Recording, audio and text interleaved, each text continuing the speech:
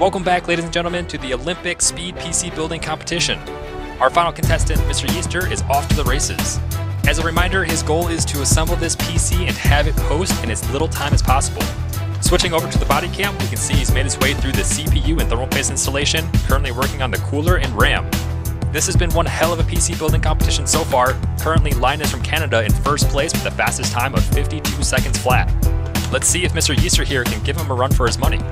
He's on pace for a personal best with the GPU installed pre 30 seconds and is moving on to the power supply cables. You really hope on a run like this that the builder is plugging in everything carefully to make sure this computer actually works.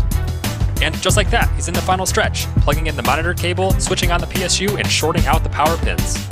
And now, the moment of truth. Does the PC actually post? If it doesn't, this run is completely disqualified, but if it does, it's on pace for a silver medal.